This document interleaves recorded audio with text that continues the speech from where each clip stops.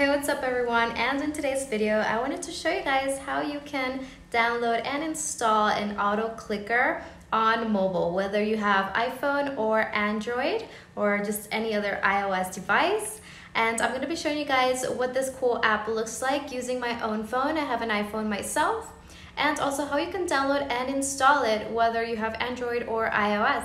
Okay, so I'm gonna be flipping my screen over and showing you guys step by step so you can follow along easily. Okay, so let's go ahead and get started. Alright everyone, so basically this is the app right here. It's called Auto Clicker Pro. So I'm gonna click on it and as you can see, this is how it opens up and as you can see I have it enabled on all of these apps and games myself. So I'm just gonna click on the Roblox one.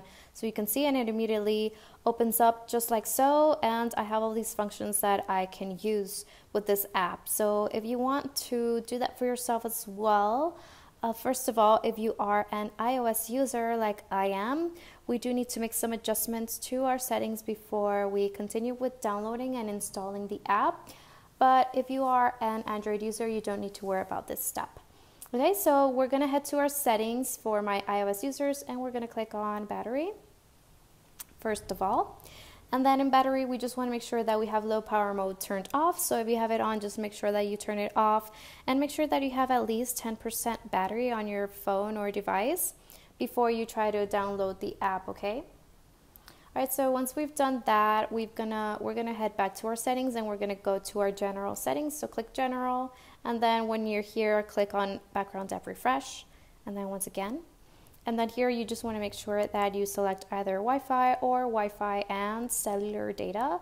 So either one of these is totally fine. Just make sure that you don't have it in off by any chance. So it's super important to actually load the page and download the app without any issues. Okay, so once we've done that, we can head back to our general settings and then we're gonna head to our about.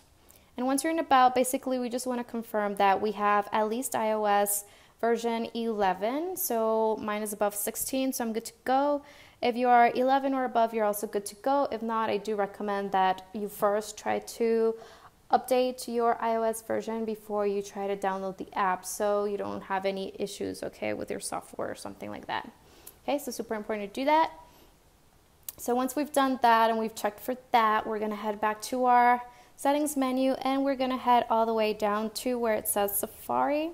So once you find Safari, you're gonna click there and you're gonna head all the way down to advanced. So once you're in advanced, click advanced.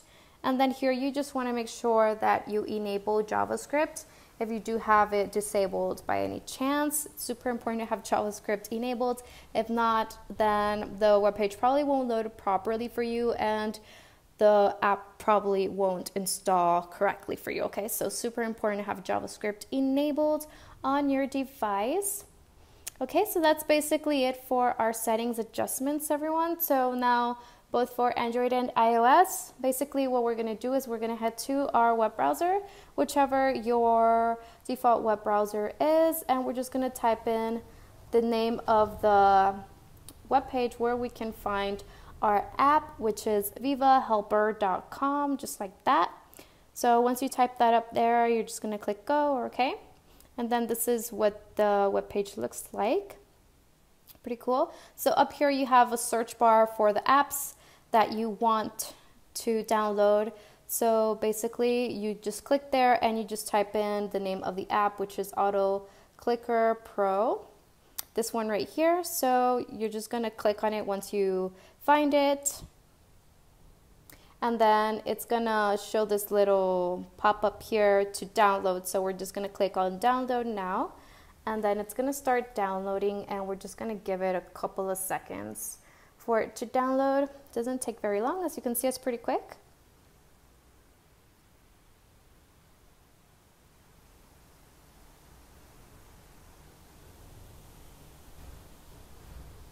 Almost there.